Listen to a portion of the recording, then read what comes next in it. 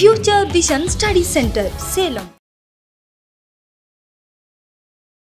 எங்களோட வீடியோஸ் உங்களுக்கு பிடிச்சிருந்தா லைக் பண்ணுங்க ஷேர் பண்ணுங்க கமெண்ட் பண்ணுங்க.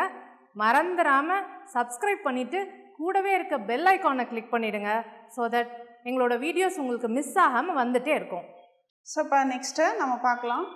General motion of a rigid body okay so rigid body particle இதை பற்றிலாம் நம்ம சொல்லியிருப்போம் ஸோ ரிஜிட் பாடி அப்படின்னா என்னென்னா இப்போ ஒரு பொருள் வந்து ஒரு பொருள் இருக்குன்னு வச்சுக்கோங்களேன். ஃபார் எக்ஸாம்பிள் ஏதோ ஒரு டேபிள் ஒரு ஏதோ ஒரு பால் பால் அல்லது நமக்கு நமக்கு தெரிஞ்ச ஃபெமிலியராக இருக்கக்கூடிய ஏதோ ஒரு ஃப்ரிட்ஜ் ஓகேங்களா ஸோ இப்போ ஒரு ஃப்ரிட்ஜ் இருக்குன்னு வச்சுக்கோங்களேன். நான் அது வந்து ஃப்ரிட்ஜாக வரையாமல் ஒரு இந்த ஷேப்பில் வரைகிறேன் ஓகே ஸோ இந்த ஃப்ரிட்ஜ் இருக்குது இது ஒரு பாடி ஓகே ஸோ இதில் நிறையா இதுக்கும் மாஸ் இருக்கும் வெயிட் இருக்கும்.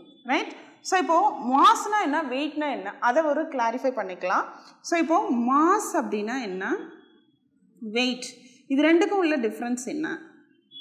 ஸோ மாஸ்னால் என்னங்க? வெயிட்னா என்னங்க? வெயிட் எப்போவுமே மாஸை டிபெண்ட் பண்ணி தான் இருக்கும். Okay so weight equal to mass into கிராவிட்டின்னு நம்ம சொல்லுவோம். ஓகே மாஸுங்கிறது மாஸ் வந்து மாறாமல் அப்படியே தான் இருக்கும். ஓகே ஸோ இப்போது மாஸ் வந்து நம்ம என்னன்னு சொல்லலாம்னா இப்போ ஒரு பால் எடுத்துக்கலாம். உங்களுக்கு சொல்கிறேன் எக்ஸாம்பிளாக சொல்கிறேன் ஸோ இப்போ இது ஒரு பால்னு வச்சுக்கோங்களேன். இந்த இந்த பால் வந்து ஒரு பத்து கிலோ பத்து கிலோகிராம் இதுதான் இதனுடைய மாஸ் ஓகே ஸோ இது ஒரு பால் என்ன பால்னு எடுத்துக்கலாம்னா இரும்பு பால்னு எடுத்துக்கலாம். ஓகே ஸோ இது வந்து ஒரு இரும்பு பால் இதனுடைய கிலோ வந்து பத்து கிலோ வெயிட் உடைய ஒரு இரும்பு பால் ஓகே ஸோ இதில் வந்து ஆட்டம்ஸ் இந்த ஆட்டம்ஸை வந்து குவான்டிட்டி ஆஃப் ஆட்டம்ஸை டினோட் பண்ணுறது தான் மாஸ் ஓகே ஸோ இதில் ஆட்டம்ஸ் மாலிகல்ஸ் இதெல்லாம் இருக்கும். ஓகே இந்த பாலில் ஸோ நம்ம இப்போ இது பத்து கிலோ இருக்க இந்த பால் வெயிட் அப்படின்னு எப்போ சொல்லுவோன்னா அதனுடைய கிராவிட்டியை பொறுத்து தான் வெயிட்டு வந்து நம்ம கால்குலேட் பண்ணுவாங்க. ஓகே ஸோ இந்த பத்து கிலோ நீங்கள் பத்து கிலோ இங்கே இருந்தாலும் பத்து கிலோ தான் ஒரு பத்து கிலோமீட்டருக்கு அந்த பக்கம் போனாலும் அது பத்து கிலோ தான். ஓகே இது வந்து எங்கே? இது பூமியில் பேசும்போது. இப்போது மாஸுக்கும் வெயிட்டுக்கும் உண்டான டிஃப்ரென்ஸ் நம்ம பார்க்குறோம் அப்படின்னா கண்டிப்பாக அது இன்னொரு பிளான்ட் போய் நம்ம பேசும்போது தான் உங்களுக்கு அந்த பிளானட்டில் அந்த அந்த பிளானட்டுக்கு உண்டான கிராவிட்டி என்னவோ அதை வச்சு தான் டிஃப்ரென்ஸ் பண்ணி உங்களுக்கு புரிய வைக்க முடியும். ஸோ இப்போ இந்த பத்து கிலோ இருக்கக்கூடிய அந்த மாஸ் இது ஒரு குவான்டிட்டி பத்து கிலோ அரிசி எடுத்துக்கின்னு வச்சுக்கோங்களேன். பத்து கிலோ அரிசி எவ்வளோ சேரும்?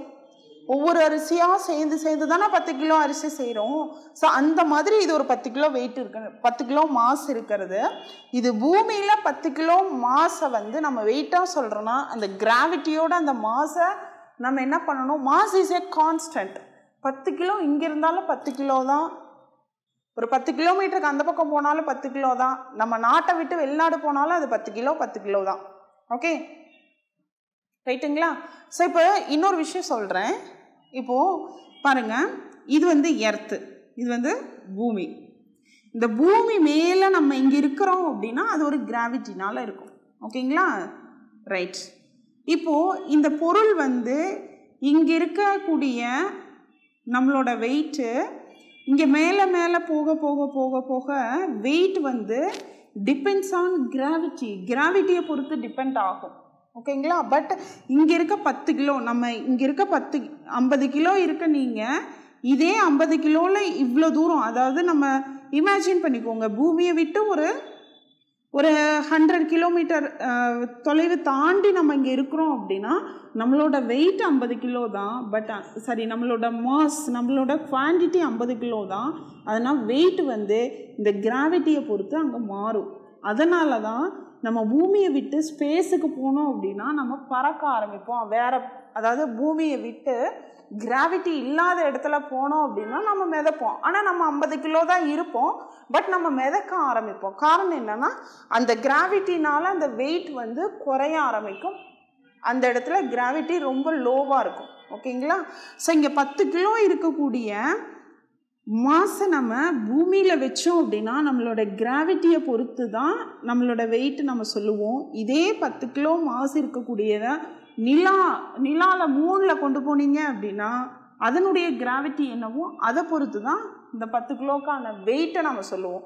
பட் வே பத்து கிலோன்றது மாஸ் அதனுடைய நிறை. நிறை வந்து அது அது முழுக்க நிறைஞ்சிருக்கக்கூடிய பத்து கிலோ பத்து கிலோ தான் பட் அது வந்து பூமியில் இருக்கும் போது அதனுடைய வெயிட் வேறு மூணில் இருக்கும் போது வெயிட் வேறு.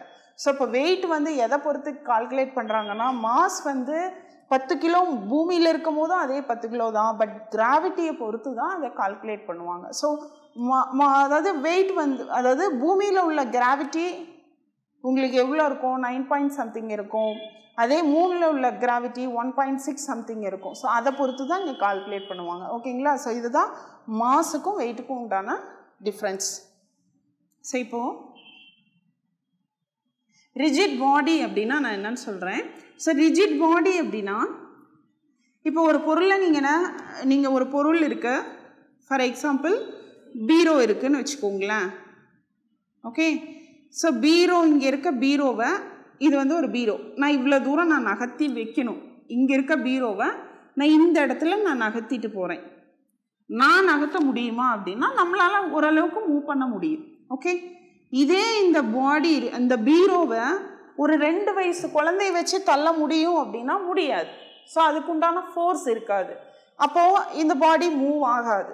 ஓகேங்களா ஸோ அப்போ அந்த ரிஜிட் பாடிங்கிறது ஒரு நல்ல ஒரு திடமான பொருள். ஓகே ஸோ இப்போ இந்த ரிஜிட் பாடியை ரிஜிட் பாடி இன்னொன்று இன்னொரு மாதிரி டெஃபினேஷன் மாதிரி நம்ம சொல்கிறோம் அப்படின்னா இப்போது நம்ம இங்கேருந்து ஒரு ஃபோர்ஸ் நம்ம கொடுக்குறோம். ஸோ அப்போ தானே இது மூவ் ஆகும். சும்மாலாம் மூவ் ஆகாது இல்லை சாதாரணமாக ஒரு பொருளை அங் இங்கேருந்து அங்கே நகர்த்தி வைக்க முடியுமா? தானாக நகருமா? தானாக நகராது இல்லை ஸோ இங்கே இருக்க இந்த பீரோவை நான் இந்தாண்ட நகர்த்தி வைக்கணும் அப்படின்னா நான் ஒரு ஃபோர்ஸ் கொடுக்கணும். நான் ஒரு தள்ளணும். இல்லை நான் ரெண்டு பேரும் சேர்ந்து தூக்கிட்டு போகணும். நான் நகர்த்தி வைக்கிறோம் அப்படின்னா கண்டிப்பாக தள்ளுனா தான் ஒரு ஃபோர்ஸ் கொடுத்தா தான் அது நகர்ந்து போகும். இல்லைங்களா? ஸோ இங்கே இருக்க பீரோ நான் இவ்வளோ தூரம் நான் நகர்த்தி வைக்கும் போது இந்த பீரோவினுடைய சைஸ் அப்படியே தான் நகர்ந்து வருமே தவிர சுருங்கிலாம் வராது. இல்லைங்களா? ஸோ அதை தான் என்ன சொல்கிறாங்கன்னா ரிஜிட் பாடி இப்போ இந்த பீரோ இப்படியே இருக்க பீரோவை நான் ஒரு அஞ்சு மீட்டர் தள்ளி நான் இந்த இடம் நகர்த்தி வைக்கிறேன்னா பீரோவினுடைய ஷேப்போ அதில் இருக்க பாயிண்ட்டோ அதில் இருக்க அதில் இருக்க அந்த பொருள் அதனுடைய நிறை எதுவுமே மாறாது. அப்படி நகர்ந்து வேறு பக்கம் நிற்கும். ரைட்டுங்களா? ஸோ இப்போது பீரோவில் இந்த இடத்துல தான் லாக் இருக்குன்னா இந்த இடத்துல லாக் இருக்கும். இதுக்கு மேலே ஹேண்ட் இருக்கும் இல்லைங்களா? ஸோ இந்த ரெண்டு டிஸ்டன்ஸும் இமேஜின் பண்ணிக்கோங்களேன். ஸோ இந்த ரெண்டு டிஸ்டன்ஸும் இந்த பீரோ ஒரு அஞ்சு மீட்டர் தள்ளி வச்சப்புறம் ஒரு ஃபோர்ஸை கொடுத்து நீங்கள் நகர்த்தி வச்சப்புறமும் அதே டிஸ்டன்ஸ் அதே சாவி போடுற இடம் அதே ஹேண்டு கைப்பிடி அதே ரெண்டுமே இடம் மாறாமல் அதே இடத்துல தானே நிற்கும். ஸோ இந்த மாதிரி இருக்கக்கூடிய அப்போ இது ரெண்டுத்துக்கும் உண்டான தொலைவு என்ன? இங்கே என்ன இருந்துச்சோ அதே தொலைவு தான் இங்கே இருக்கும். ஸோ இங்கே எக்ஸ் டிஸ்டன்ஸில் இருந்துச்சுன்னா இதுவும் எக்ஸ் டிஸ்டன்ஸ் அந்த டிஸ்டன்ஸ் வந்து மாறாது. கான்ஸ்டண்ட்டாக இங்கே என்ன இருந்ததோ ஒரு ஃபோர்ஸை கொடுத்ததுக்கு அப்புறமும் அந்த பாடி வந்து அந்த டிஸ்டன்ஸ் மாறாமல் அதே மாதிரி இன்னொரு இடத்துல போய் நகர்ந்து நிற்கிது இல்லைங்களா? இந்த மாதிரி உருவத்துக்கு பேர் தான் என்ன சொல்கிறாங்கன்னா ரிஜிட் பாடி ஸோ எப்போ ரிஜிட் பாடின்ற வேர்டு யூஸ் பண்ணுறாங்கன்னு புரியுதுங்களா? ஸோ இப்போ ரிஜிட் பாடிக்கான டெஃபினேஷன் பாருங்கள் a system of particles okay particles அப்படின்னா சிறிய துகள் சின்ன பொருள் ஆப்ஜெக்ட் அப்படின்னு நம்ம சொல்லுவோம். பட் ரிஜிட் பாடி அப்படின்னா ஒரு திடமான பொருள். அந்த திடமான பொருளுக்குள்ளே நிறைய பார்ட்டிகல்ஸ் இருக்கும். அப்போ சின்ன அதாவது நீங்கள் பார்ட்டிகல்ஸ்னு கால்குலேட் பண்ணுறது ஸ்மால் ஒரு டாட் அப்படின்னு எடுத்துட்டு கால்குலேட் பண்ணுறதுக்காக பார்ட்டிக்கல்ன்ற வேர்டு யூஸ் பண்ணுவாங்க. பட் பீரோவே பீரோவையே நீங்கள் கன்சிடர் பண்ணிக்கோங்களேன். பீரோ இருக்குது அப்படின்னா அதில் சின்ன சின்ன சின்ன புள்ளி இருக்குது நான் பீரோவையே ஒரு பார்ட்டிக்கலாக கன்சிடர் பண்ணி கூட நம்ம கால்குலேட் பண்ணலாம். ஓகே ஸோ ப்ராக்டிக்கலாக நீங்கள் கால்குலேட் பண்ணும்போது அக்யூரேசி மாறாமல் கால்குலேட் பண்ணுங்கிறது தான் பார்ட்டிக்கிளோட நோக்கம். ஸோ இப்போது ரிஜிட் பாடின்னு சொல்ல வரும்போது அந்த சின்ன சின்ன பார்ட்டிக்கிள் எல்லாம் சேர்ந்த ஒரு சிஸ்டம் தான் வந்து உங்களுக்கு rigid body okay so exact definition சொல்லணும் a system of particles such that distance between any two points any two of them is always any two point of them okay distance between any two point of them is always constant. நான் சொன்னேன் இல்லைங்களா? அப்போ ஒரு பீரோவை இந்த இடத்துல இருந்து இந்த இடத்துக்கு நீங்கள் நகர்த்தி வைக்கிறீங்க அப்படின்னா அதில் சாவி போடுற இடமும் கைப்பிடிக்கிற இடமும் இங்கே இந்த இடத்துல இருக்கும் போது என்ன டிஸ்டன்ஸில் இருந்துச்சோ அதே டிஸ்டன்ஸில் தான் நீங்கள் ஒரு அஞ்சு மீட்டர் தள்ளி நகர்த்தி வைக்கும் போதும் அதே டிஸ்டன்ஸ் மாறாமல் அப்படியே இருந்திருக்கும். ஓகேங்களா ஸோ பட் நம்ம வெளியில் ஒரு ஃபோர்ஸ் கொடுத்ததுனால தான் இந்த பொருள் இங்கேருந்து இங்கே மூவ் ஆயிருக்கு. ஸோ அப்போ அந்த ரிஜிட் பாடி வந்து டிஃபார்ம் ஆகாது. பொருள் எப்படி இருக்கோ அதே நிலையில் அதே டிஸ்டன்ஸில் அதே பாயிண்ட்டுக்கு அந்த எந்த ரெண்டு பாயிண்ட் எடுத்தீங்கனாலும் அது சேம் டிஸ்டன்ஸில் அப்படியே நகர்ந்து போயிருக்கும் அப்படிங்கிறது தான் rigid body a system of particles such that the distance between any of two point of them is always constant is called a rigid body okay applied forces இப்போ இந்த ஃபோ ரிஜிட் பாடியை இப்போ நான் அந்த பீரோவை நான் நகர்த்தி வைக்கிறேன் அப்படின்னா நான் கொடுக்குற ஃபோர்ஸ் தான் என்னது? அப்ளைடு ஃபோர்ஸ் நான் ஒரு ஃபோர்ஸை கொடுத்தா தானே அது நகர்ந்து போகும். எந்த ஒரு பொருளுமே ரெஸ்ட்டில் இருக்குது ஓய்வு நிலையில் இருக்குது அப்படின்னா அது நகரணும் அந்த பொருளை மூவ் பண்ணணும் அது இயக்க நிலைக்கு கொண்டு வரணும் அப்படின்னா நம்ம ஒரு ஃபோர்ஸ் கொடுப்போம் இல்லைங்களா? அதுதான் அப்ளைடு ஃபோர்ஸஸ் நம்ம கொடுக்குற ஃபோர்ஸ் வந்து நம்ம சொல்கிறாங்க applied forces forces applied on a body by external agency சாதாரணமாக இருக்க அந்த பீரோவை நம்ம எக்ஸ்டர்னலாக நம்ம வெளியால் ஒரு ஆள் போய் தள்ளும் போது தான் அது அஞ்சு மீட்டர் தள்ளி வைக்கும் த அதாவது நகர்ந்து போகுது. ஓகே சாதாரணமாக ஒரு பீரோ அப்படியே இருக்க பீரோவை சாதாரணமாக அது நகர்ந்து அஞ்சு மீட்டர் நகர்ந்து போகணும் அப்படின்னா அதுக்கு ஃபார்முலா கிடையாது மந்திரம் கிடையாது எதுவுமே கிடையாது. நம்ம நகர்த்தி வைக்கணும். அதுதான் சயின்ஸ் ஸோ நம்ம கொடுக்குற ஃபோர்ஸு நம்ம வெளியிலேருந்து தானே மூணாவது மனுஷங்க தானே அந்த பீரோ இருந்த இடத்துல இருந்து நான் போய் நான் நகர்த்தி வைக்கிறேன் அப்படின்னா நான் கொடுக்குற ஃபோர்ஸ் நான் வெளியிலேருந்து ஒரு ஃபோர்ஸ் கொடுக்குறேன். ஸோ அதுதான் applied forces so by external agency வெளியிலேருந்து நம்ம ஒரு ஃபோர்ஸ் கொடுக்குறோம் இல்லைங்களா?